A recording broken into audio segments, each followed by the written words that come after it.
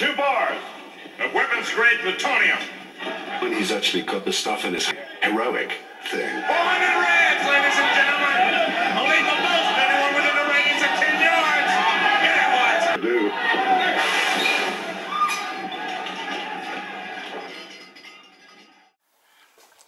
This short video relates to the subject of the nuclear industry, uh, but it started with discussion about the sad passing away of James Lovelock, Tuesday the 26th of July 2022, on his 103rd birthday. I'll start this with the important bit, which is the video I've just found about a TV series, Edge of Darkness, and one of the reasons for making this recording is I didn't want that video to get lost. When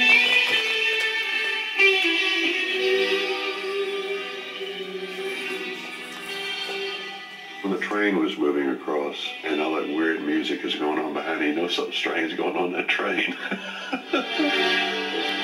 Broadcast in 1985 on the BBC, Edge of Darkness tapped into a very real fear in the viewing public regarding Britain's rapidly expanding nuclear industry. I wanted it to be political. I thought of the, the nuclear power issue and Sellafield and and then there were a huge amount of political pressures going on. There was Greenham Common. When Edge of Darkness came along, it happened to just articulate all of the issues that people were thinking about. It was a kind of time of paranoia. This very timely thriller begins with the murder of a policeman's daughter. Bob Peck plays Craven, a straight-laced detective whose investigation into his daughter's death leads him to unearth a high-level cover-up involving illegal plutonium. who was stealing it, who was using it, and who was doing what. We discovered that the government was doing it. Craven teams up with an unlikely partner in the form of renegade CIA agent Darius Jedburgh. Darius Jedburgh was a bit of a loose cannon, but uh, he understood the loose cannon. He was a loose cannon on purpose because it was fun. His obsession with golf, his strange, outlandish clothes and stuff, and, and it was so it was such a brilliant foil to Craven. This odd couple infiltrate a secret nuclear facility, stealing deadly slabs of plutonium in order to expose a government conspiracy. Two bars of weapons-grade plutonium.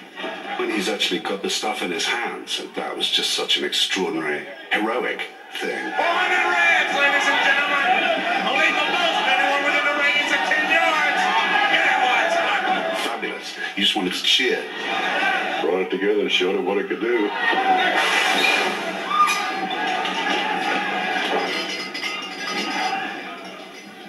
Hey, what's the matter? I don't y'all want to be part of the new age of plutonium literacy?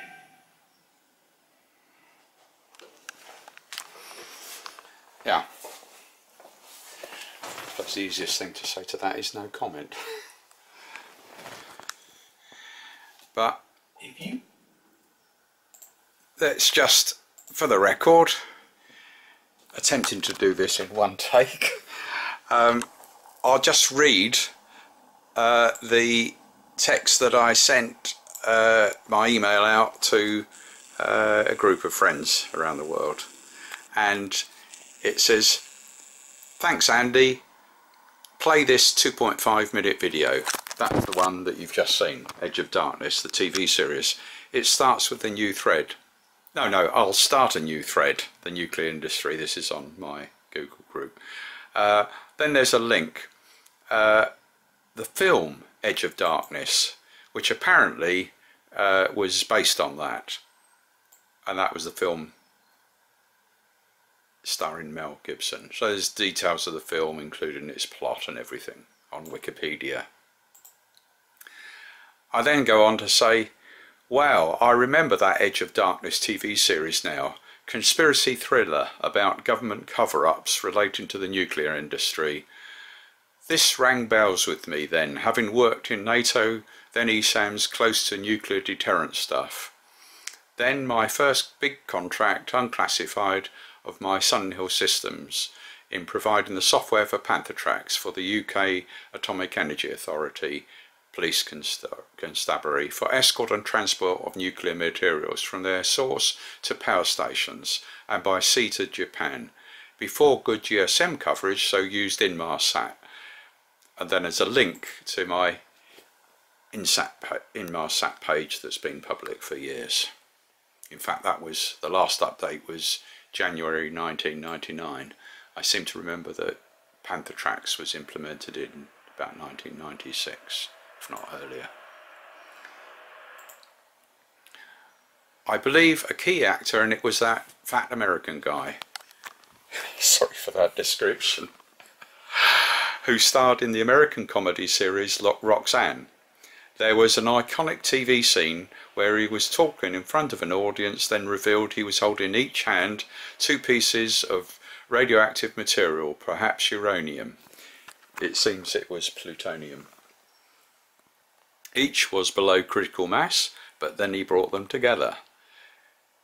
Googling is a pain, so it keeps trying to put in offers to buy things, including these films, but those links are okay.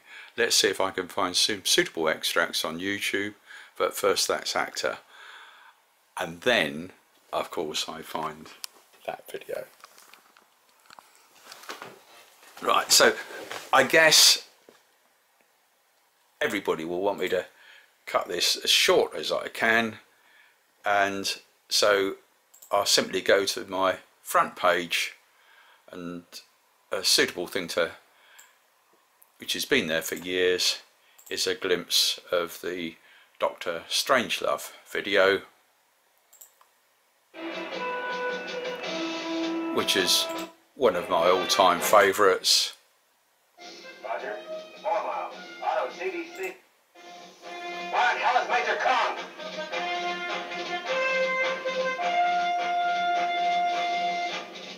Don't forget, with YouTube you can use the time bar to skip through bits or replay bits you're interested in. Yeah, Major Kong, the flight engineer was really pleased he fixed the bomb bay doors.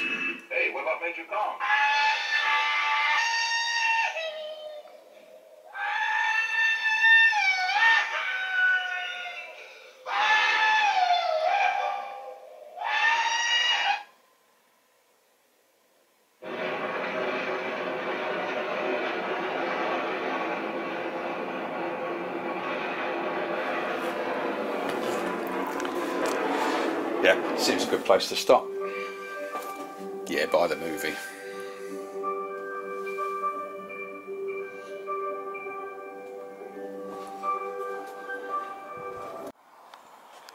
Because I've got much more important things to do in the garden. The women are out playing tennis. I've got to mess around doing engineering work like a bottom pond to try and make it attractive and safe for ducks. Decoy ducks might attract them. A platform that we can put things. That was our 50th anniversary present from my sister Sally. So, time to wind up this little video. That's a change from winding up people. So, only remains to say, look after yourselves, stay safe, and enjoy what days we've got.